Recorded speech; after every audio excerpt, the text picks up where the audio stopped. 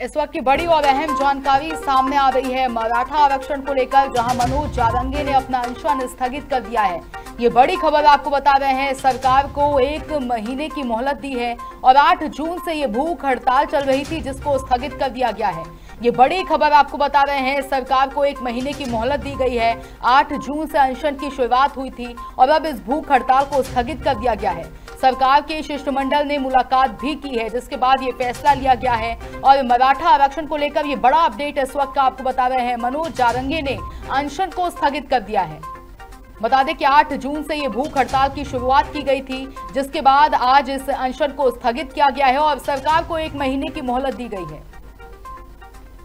ये बड़ा अपडेट आपको बता रहे हैं। इससे पहले भी कई बार मनोज जारंगे ने मराठा आरक्षण को लेकर अनशन किया था और एक बार फिर लोकसभा चुनाव के बाद 8 जून को उन्होंने इस अनशन की शुरुआत की। उनकी तबीयत भी काफ़ी बिगड़ी, उन्होंने इलाज के लिए भी मना कर दिया था। और जिसके बाद जो शिष्टमंडल है, उन्होंने मुलाकात की, आश्वासन दिया, जिसके बाद सरकार को एक महीने की मोहलत दी गई है और मनोज जारंगे ने अपना अनशन भी अब स्थगित कर दिया गया है। और इस खबर पर तमाम जानकारी के साथ महाराष्ट्र से स्टेट हेड मंगला वाघे जी हमारे साथ जुड़ गई हैं। मंगला जी मराठा आरक्षण को लेकर लगातार 8 जून से अनशन चल रहा था और अब मनोज जारंगे ने अनशन को स्थगित कर दिया है। इसको लेकर क्या कुछ अहम जानकारी सामने आ रही है? जी आकांक्षा में आपको बता दूँ कि मनोज जरांगे पाटिल मराठा आरक्षण को लेकर आठ जून से लेकर अनशन कर रहे थे। आ, लेकिन कल उनकी तबीयत बहुत खराब हो की लेके और जो, जो कलेक्टर है जालना डिस्ट्रिक्ट के वहाँ मेडिकल टीम लेकर पहुँचे थे लेकिन कल उन्होंने कोई भी आ, मेडिकल ट्रीटमेंट लेने से इनकार कर दिया था। जरांगे पाटिल ने कहा था जब तक मराठा आरक्षण नहीं मिलता मैं अपना अनशन नहीं खत्म करूँगा। लेकिन आज कुछ ऐसी परिस्थितियाँ सामने आ गई कि आज दोपहर को सुबह जो महाराष्ट्र के विरोधी दल के नेता है अंबादास जालना पहुँच चुके हैं। जहाँ पर उनका अनशन चल रहा है अंतर वाली सराठी में वहाँ जहाँ पूछे और उन्होंने भी उनको रिक्वेस्ट की थी जरंगे पाटिल को आप अपना अनशन स्थगित कर दे। मैं सरकार से गुजारिश करूँगा कि मराठा का आरक्षण जल्द से जल्द लागू किया जाए। लेकिन चरंगे पाटिल कुछ भी कहने की स्थिति में नहीं थे। उनका यही कहना था कि मराठा आरक्षण मिलना चाहिए, मराठा लोगों को, मराठा समाज को आरक्षण मिलना चाहिए, वो भी जल्द से जल्द मिलना चाहिए। सरकार ने लोकसभा चुनाव के पहले आश्वासन दिया था कि मराठा आरक्षण देंगे लोगों को, लेकिन अभी तक उन्होंने अपना आश्वासन पूरा नहीं किया। उसके बाद दोपहर को महाराष्ट्र के मंत्री है, शंभुराज देसाई वो भी अंतर वाली सराठी में जहाँ पूछे उन्होंने भी रिक्वेस्ट की जरांगे पाटिल से आप, आप आपका अनशन स्थगित कर दे। जी। उनके साथ लगातार बातचीत चल रही थी शंभुराज देसाई। जरांगे पाटिल अपना अनशन स्थगित करने के लिए मान किए मान गए हैं। लेकिन उन्होंने सरकार के सामने एक महीने की मोहलत दी है कि आप एक तेरह जुलाई तक महाराष्ट्र आरक्षण लागू कर दीजिए। शंभुराज देसाई का कहना है था कि दो महीने से कोड ऑफ़ कंडक्ट महाराष्ट्र में लोकसभा चुनाव के वजह से महाराष्ट्र में कोड ऑफ़ कंडक्ट जारी था. इसलिए हम लोग मराठा आरक्षण के लिए कुछ तैयारियाँ, कुछ डिसीज़न नहीं ले चुके हैं.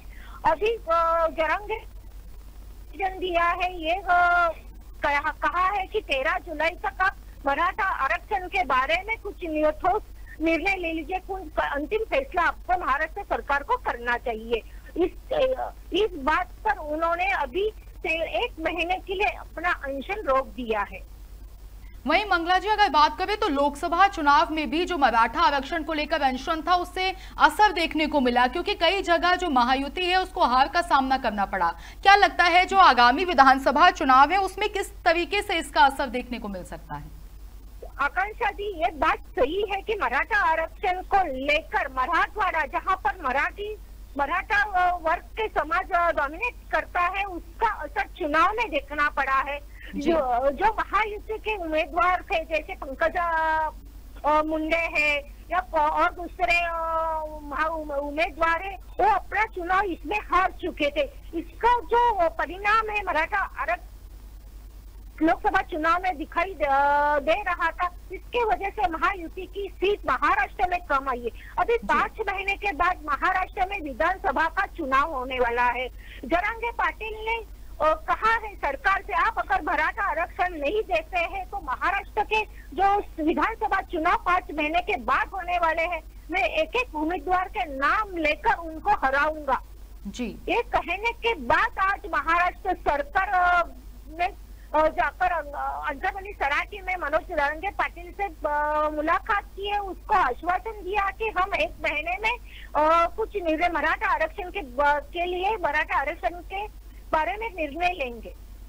वहीं मंगला जी सरकार को एक महीने की मोहलत दी गई है। क्या लगता है आगे मराठा आरक्षण को लेकर क्या कुछ अहम कदम उठाए जा सकते हैं? अगर इनकी मांगे पूरी नहीं होती तो। देखिए मराठा आरक्षण की मांगे नहीं पूरी होती है तो मरांगे मराठा आरक्षण को लेकर जो अनशन करे या आंदोलन करे, जरांगे पार्टी बहुत बड़ा कदम उठा सकते हैं। उसका विधानसभा, आने वाली विधानसभा में दिखाई दे दे सकता है। क्योंकि पाँच महीने के बाद मराठा विधानसभा चुनाव है और उनकी मांग है कि एक महीने में दिया जाए। ऐसा देखा जाए तो एक महीने में मराठा आरक्षण देने देने का महाराष्ट्र सरकार में जो हलचल चल रही है उसको लेकर ऐसा दिखाई दे रहा है कि मराठा आरक्षण देना महाराष्ट्र सरकार के लिए मुसीबत खड़ी पड़ा पैदा हो सकती है। तो मराठा आरक्षण लेकर से लेकर अभी तो हलचल महाराष्ट्र सरकार में यूपी में हलचल चल रही है। तो एक महीने में मराठा आरक्षण देना कोई भी सरकार के लिए पॉसिबल है ही नहीं। सबसे पहली बड़ी जी। से मराठा आरक्षण को लेकर और एक बात मनोज जरंगे पाटिल ने सामने रखी है जो शिंदे कमेटी बनाई गई थी मराठा आरक्षण को लेकर जो मराठा आरक्षण के जो दाखिले हैं मराठा आरक्षण के जो कुंडी और मराठ समाज के दाखिले उसकी जो शिंदे कमेटी की मुदत बढ़ाई जाए ऐसा मराठा पाटिल का जरंगे पाटिल ने उनके पास सामने आश्वासन रखा है ठीक है, मंगला वागे जी आपका बहुत बहुत धन्यवाद हमारे साथ जुड़ने के लिए और तमाम अहम जानकारी हमारे साथ साझा करने के लिए। तो ये बड़ी खबर इस वक्त आपको मराठा आरक्षण को लेकर बता रहे हैं। मनोज जवांगी ने अनशन स्थगित कर दिया है। ये बड़ा अपडेट सामने आ रहा है और सरकार को एक महीने की मोहलत भी दी गई है। साथ ही आपको बता दें कि इस अनशन की और इस भूख हड़ताल की शुरुआत 8 जून से की गई थी और सरकार के शिष्टमंडल ने मुलाकात की, आश्वासन दिया, जिसके बाद अब सरकार को एक महीने की मोहलत दी गई है और मनोज जावंगे ने अनशन को भी स्थगित कर दिया है।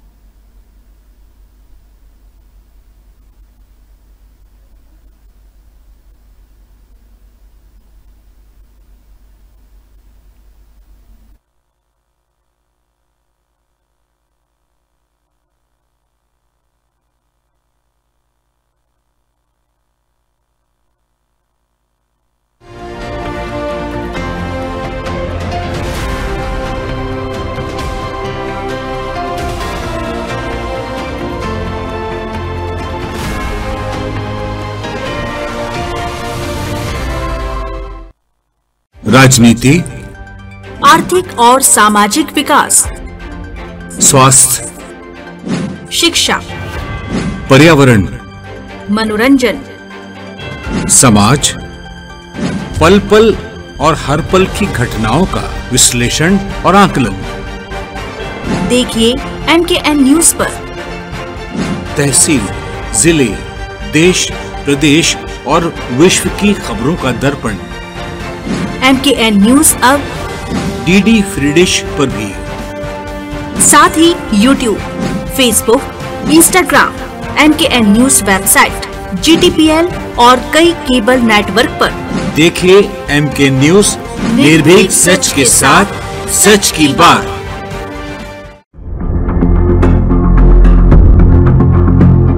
इस भागती दौड़ते ज़िंदगी में हम कई बार जाने अनजाने उन चीज़ों का शिकार हो जाते हैं या उन्हें अपनी आदत बना लेते हैं, जो हमें लंबे समय में बड़ा नुकसान पहुंचाती है। आज, टेक्नोलॉजी और व्यस्तता के इस दौर में मानसिक थकान एक प्रमुख कारण है, जिसको मिटाने के लिए हम अपने आप को उन चीज़ों से जोड़ देते हैं, जो लंबे समय में हमें नुकसान का कारण बन जाती है। ये सच है कि मनुष्य एक सामाजिक प्राणी है। वो समाज में व्याप्त अच्छाइयाँ और बुराइयाँ उसको अपनी ओर आकर्षित तो करती है। अब ये सोचना आपका काम है कि क्या